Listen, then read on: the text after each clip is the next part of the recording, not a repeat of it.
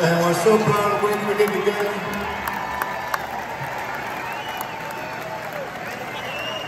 Yeah, now I got other people taking this shit So That was a bad idea. All right. We love you, Dave. Thank you. And this song, well, it's, uh, it's off the first record.